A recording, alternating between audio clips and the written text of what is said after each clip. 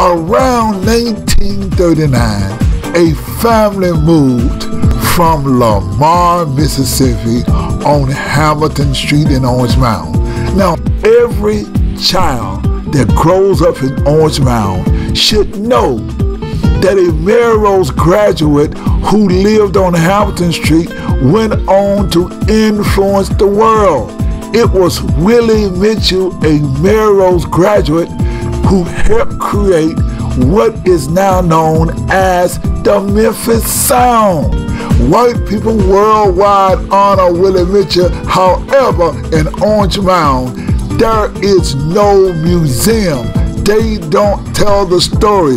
All that you hear about Orange Mound is that they have made Orange Mound to be ghetto America USA, and this is white supremacy and racism that the great and rich Orange Mound history is never told or talked about.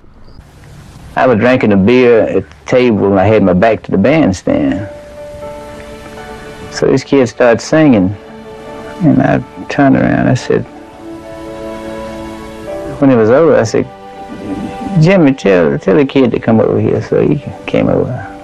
I said, what you say your name was? He said, Al Green. I said, man, you got a beautiful voice. I said, you can cut a hit record. I said, why don't you go back to Memphis with me and uh, if we work real hard, I said, we can cut some hit records. This is a Royal recording studio where the records were made for Hi Records.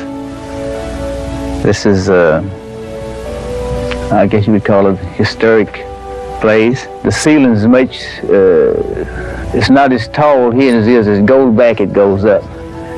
And I think it gives the studio a unique sound. And we probably stand in the same area that I used to record. He'd like to stand right here. That's why he liked in one spot, the same spot all the time. This particular mic here is a mic that Al Green has used all his life in here. He called it his mic. I keep it here all the time. It's mic number nine. He always loved to sing on this mic. That's where he made all his records on.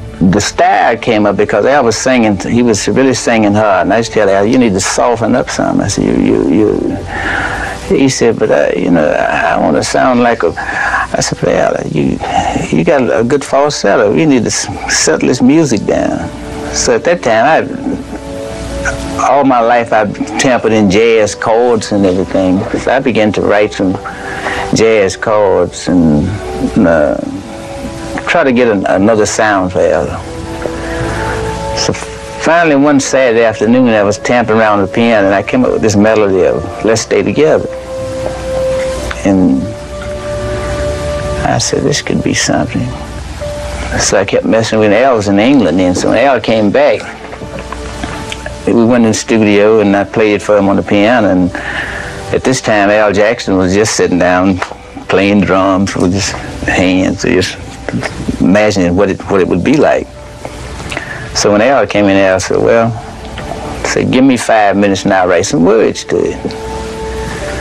So Al walked around and said, about 15 minutes later, he came back with some words and we started messing with this song. So about a week later, we put the track down. And that's the, everything happened.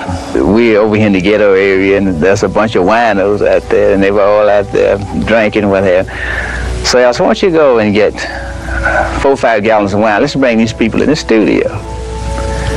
So we brought about 50 people in here. All the winos, they were drinking wine, laying on the floor, we were cutting the record. And we'd all telling them to be quiet.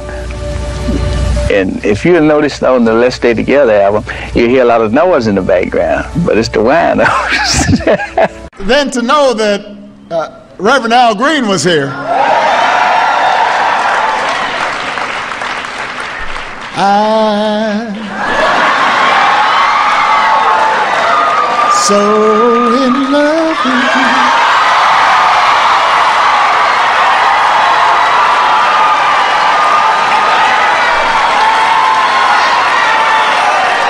Uh,